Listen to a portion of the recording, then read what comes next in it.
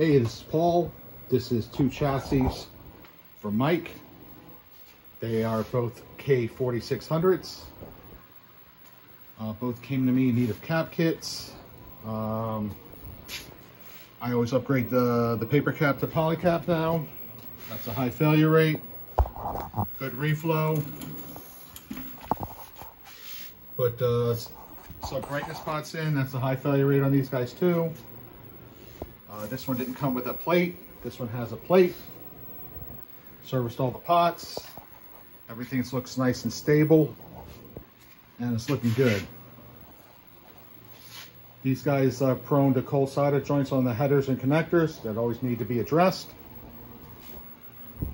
Uh, also, I rebuilt three neck boards right here. They've been tested, they work good. They were missing colors or missing video.